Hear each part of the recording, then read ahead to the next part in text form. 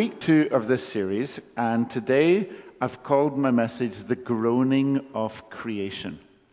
Last week we heard from Dave Lazenby, the associate pastor at Newton Mearns Baptist Church, um, and Dave was introducing the whole series that we live in a wonderful world that God has made.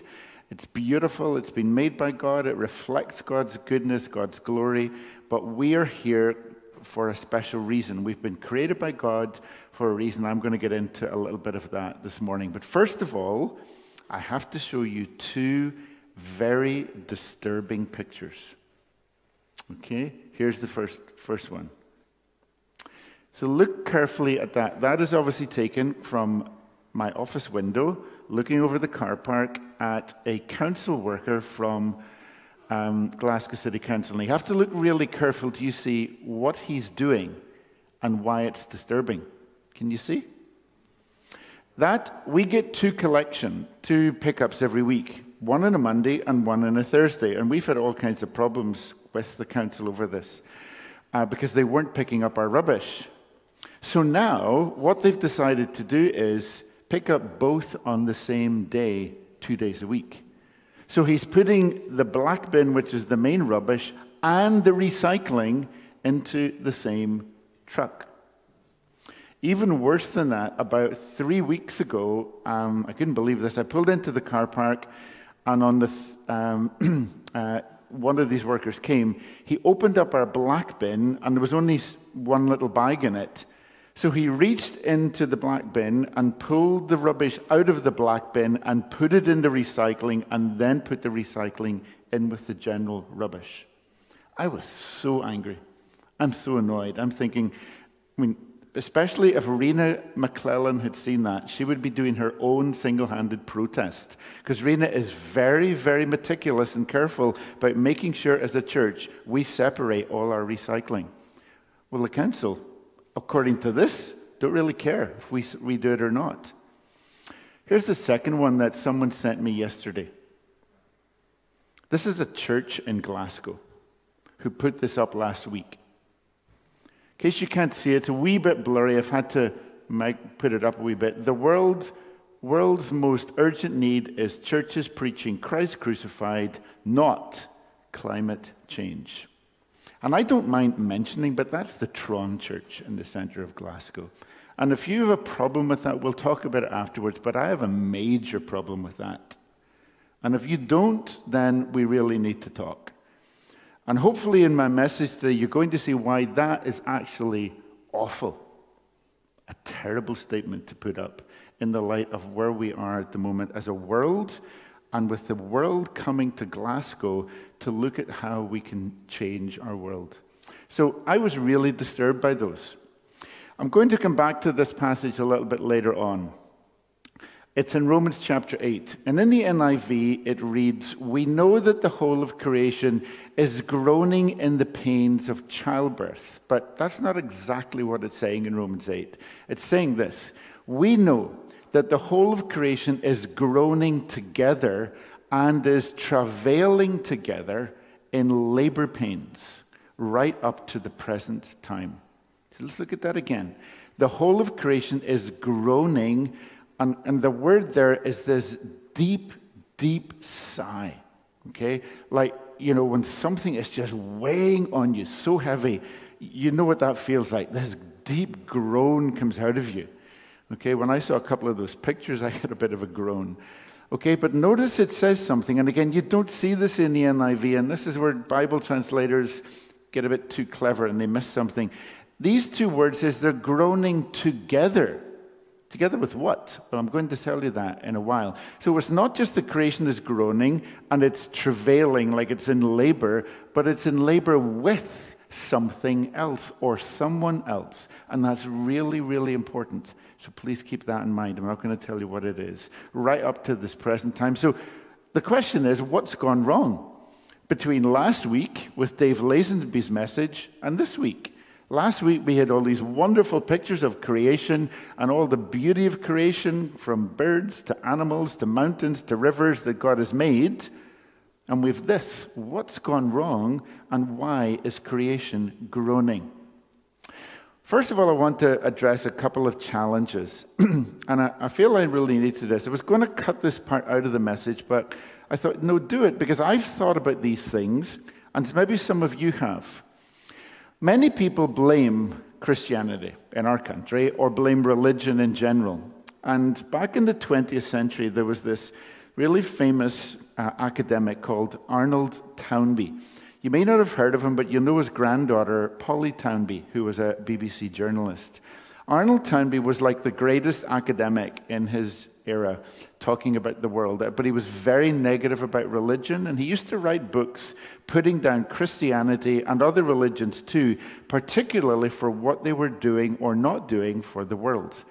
And so, is Christianity to blame or religion? First of all, yes, partly. Partly we are. If you go through history and you look back in the past and you see the times where Christians should speak out and should be active and were silent, yes, we have been silent. Or other times where we should have been silent, where we should have held back, but we did things and we, we cooperated with societies that was doing things, um, yes, we did. So we're not going to get off the hook Okay? As Christians, and I'm talking about Christians in the broadest sense of the world here, okay? Maybe you say, well, I'm not like that. Okay, but generally speaking, over the course of history, Christians have, have not acted the way they should, particularly towards God's creation. Okay, and so there's a need for confession. There's a need for us to say, hands up, I haven't done what I'm supposed to have done, or hands up, I shouldn't have done that. Okay, and we need to repent for that. So we're not getting off the hook completely, but Toynbee and these other people have a real go at Christians based upon things we believe. And I'm going to mention this one in just a wee minute. First of all, we have a wrong understanding about the beginning. In Genesis chapter 1, Christians have used Genesis chapter 1 and certain statements in Genesis chapter 1 and chapter 2 to justify what they have done to the planet. And I'll come on to that in just a wee minute, okay? But that is not so much, that's a wrong understanding. That's not because the Bible has said that, it's because people have misread the Bible. There's lots of things that Christians have done over the course of time, not because the Bible tells them to do it, but because of their own reading of the Bible or misreading of the Bible. So, first of all, um, we want to challenge that. Secondly, the incarnation is what we use, what we talk about when we talk about Jesus coming, God becoming human. And over the course of time, um, there's been a very wrong understanding about um, our world and our place in our world to the point where we've separated our body from the soul. You may have heard this that, you know, God is, we, we have a soul in our body. Well, the Bible doesn't say that. Bible doesn't say that you have a body and a soul. It says you are a living soul. You are a soul. A soul is not part of you that leaves you when you die. It's part, and we are whole living beings.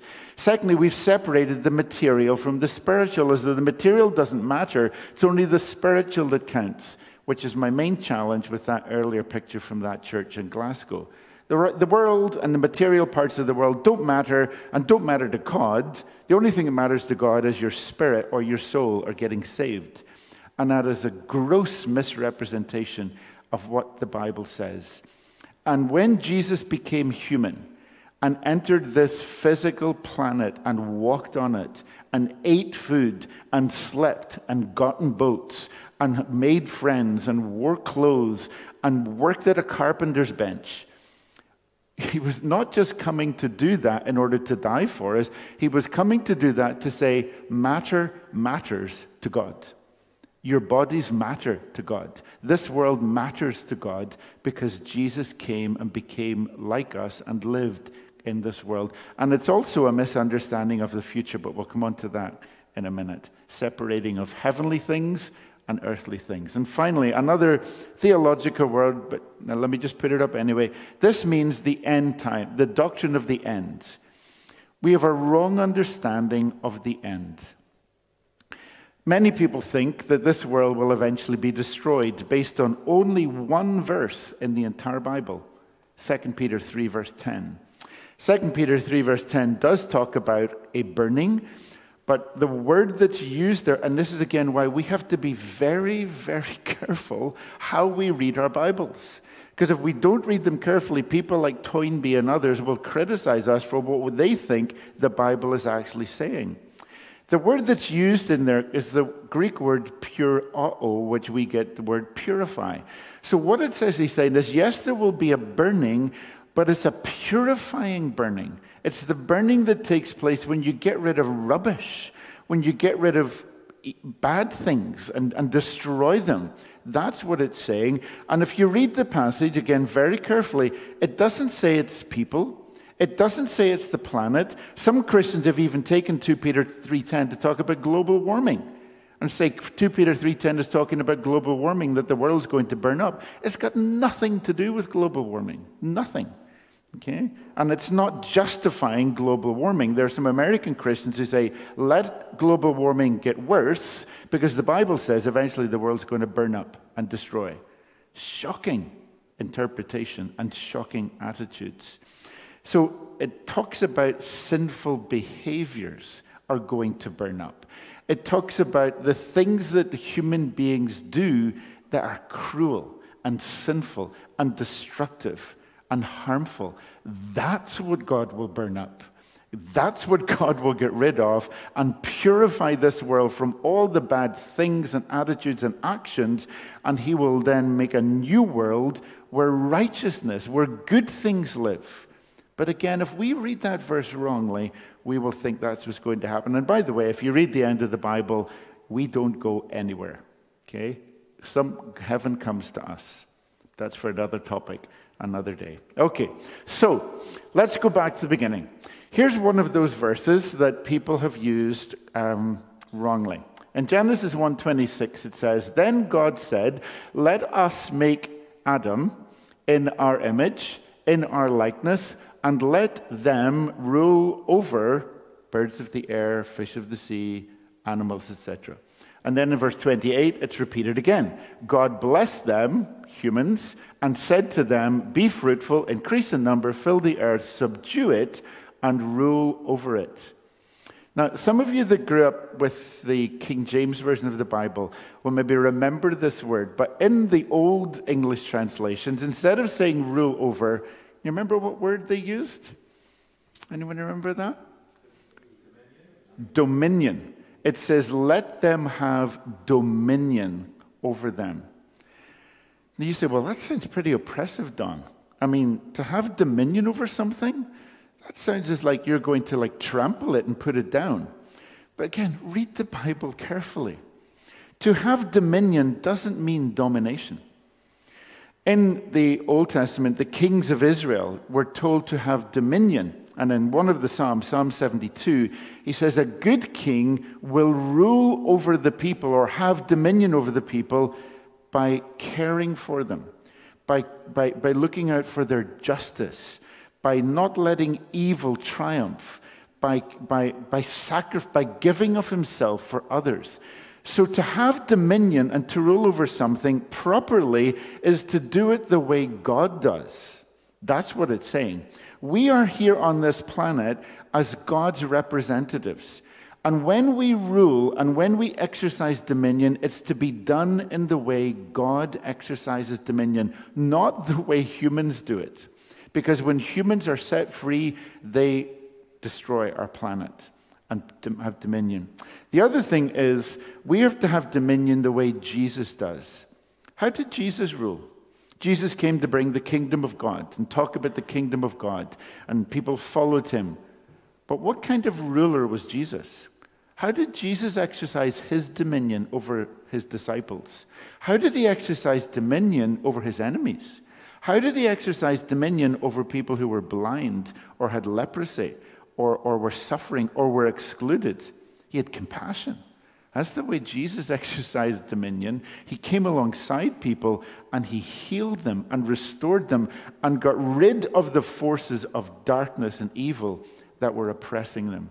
So this passage, yes, says that we have to rule, but how do we do it? We do it as God does it. And by the way, subdue basically means the world won't cooperate with you sometime when you try to do it. Not because God's fighting against you, but the forces of this world will fight against you when you try to rule as God does. Why are we here? Second, Genesis 2, next passage. This explains a little bit more about what our role is in the world. The Lord God took Adam again and put him in the Garden of Eden, where Eden means something pleasurable or delightful. He put him in there to do what? To work it and take care of it. That's according again to the NIV. King James says to dress it and keep it. New American says to cultivate it and tend it. New Living to tend it and watch over it. So, what do these words mean? Why are we here? The Hebrew word for work is the word abad, which means to serve. So we are on this planet to serve it. We are servants. Even the fact we are slaves in the sense that we are here uh, at the duty of our planet to serve it and to care for it. The way um, someone would serve someone who's suffering.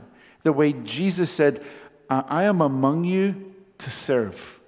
Okay? I'm not here to rule, I'm here to serve. And he demonstrated that not just by washing their feet in that act at the end of his life, but through his whole ministry. Everyone he met, he served them. He came down to their level as the King of heaven to serve them. And we, when we care for God's world, we're here to serve our world. And secondly, to take care of it is the Hebrew word shamar, which means protect or guard in, if you go to North America, most North American cities, the police cars will have this on the side of them to serve and protect. I think Canada does as well, actually, if I remember right. To serve and protect. Okay? It's as though God has written that in our hearts. Why are we here? Why are we on this planet? Why do you exist here? Not just to take, not just to live for yourself, but you and I are on this planet, according to the Bible, to serve and guard and protect it. And as human beings, we haven't done a very good job of that. And we're going to come on just a moment to see how we can do that. Okay, so if that's why we're here, to serve and protect God's world, why haven't we done it? Simply because we have a choice. We've all got choices. And in this wonderful picture at the start of creation. It says, you know, it's trying, and again, let's not get in conversations about literalism and was there two trees and what was it exactly a tree, what type of tree, all that sort of stuff. Okay, the Bible in that passage is trying to paint a picture for us of, of, of life as God wants life to be lived. It says, Imagine these two trees, and one of these trees was life giving. And you can just spend all your time enjoying the fruit of this tree and living as God wants you to live. Okay? And just trusting and working with God.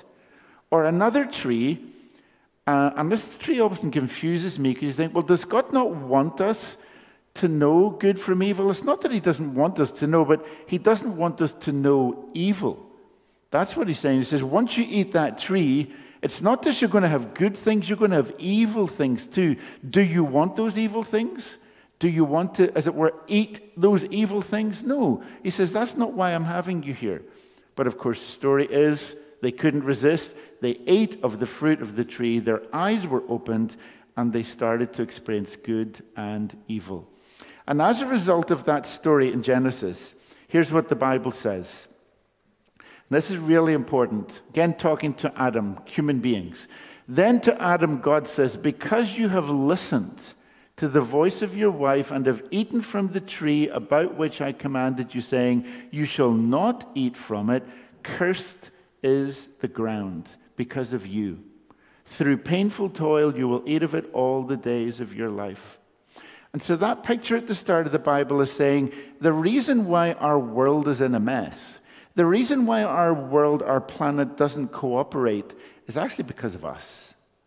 We have done things. We have turned away from God, and instead of serving and cultivating and blessing and guarding and protecting and bringing all the goodness of this world, which we are here to do, we've actually cooperated with all the bad forces and allowed them to ravage this world unchecked to the point of where we are today. The word curse, in case you worry about that, it, it basically means deprive or, or, or to hold back. It's the opposite of blessing. You know, Genesis 1, God blessed this world. God blessed human beings. Genesis 3, we see the opposite.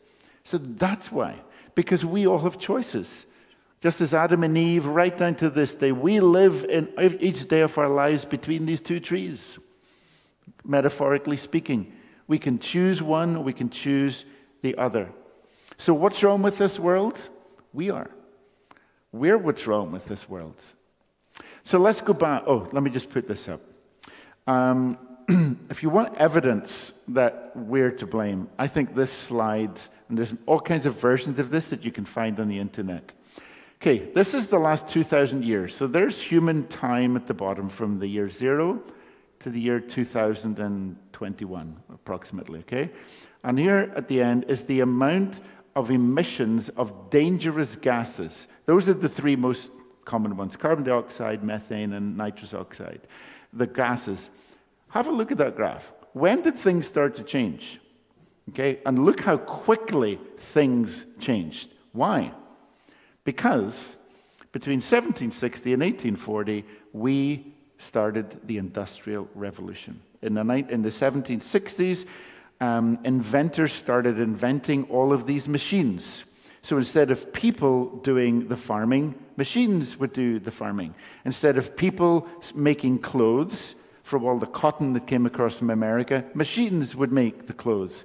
Instead of us walking places, machines would take us to places. And that changed radically human beings. Now, our life expectancy got longer, but so did the pollution. So did the injustice. The rich got richer, but also people got a lot poorer as well because they were used in the factories. And so I want to ask the question if we're created to serve and protect this world, how have we done in the last couple hundred years? And this is why we are at the stage where we're at right now, where because of our actions, and our continued actions. And by the way, I was having this conversation in the car park last week with someone. Before we blame China too much, China's only doing what we started. The Chinese are saying, We're doing what you guys have been doing for 200 years, so it's our turn to do it now. And that's not to get them off the hook, okay? But we need to get away from thinking it's their fault in China and Russia and India and the, the developing world for 200 years, we've been doing a pretty good job of destroying this planet. And so we're all in this together. And so, as we conclude, creation, Romans 8, is in, waits in eager expectation for the children of God to be revealed. For the creation was subject to frustration, not by its own choice. There's that sense again. Why is the creation groaning? Not because it chose to, Okay? But it was subjected to it by the will of the one who subjected it in the hope that the creation will be liberated from its bondage to decay and brought into the freedom and glory of the children of God. We know the whole creation is groaning together right up to the present time. So, what's Romans 8 saying? It's simply saying this We are to blame. We are the ones who've done this, okay? And when God sent Jesus into the world, He didn't just come to save your soul. He didn't come to take you away from a dying planet to a place called heaven one day, and you could wave goodbye to a planet that was being destroyed. That is not the message of the Bible. Jesus came to this planet to save human beings so that through human beings working with God, He could save this planet. That's the gospel. And that's why that sentence at the beginning is so offensive. God loves this world. He loves you, but God loves trees and birds and plants and fish and dolphins and mountains and rivers. God loves this world. God sent Jesus in this world to save us. And if you read all of Romans 8, we won't have time to go into it today. It says, As we are saved, as we are changed, so the planet gets changed. I want to finish with this. Uh, some of you know this week I went over to visit uh, my mum and dad in Belfast, and I was on a bus on Monday morning, and the bus was driving through the centre of Belfast. And quickly, I saw this picture of this cathedral church, and I got my phone out and I managed to capture it between the two trees, interestingly. See the cross, and the centre of the cross is a circle. That's St. Anne's Cathedral in Belfast.